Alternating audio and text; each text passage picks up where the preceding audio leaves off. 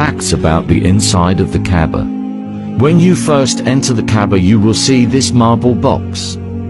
Inside, the marble box contains oils and fragrances that are used to wash and clean the Kaaba three times a year. These cups that are hanging from above are made from pure gold. They were gifted to the Kaaba by the leaders and kings from the last 1400 years. This area over here is missing a pattern.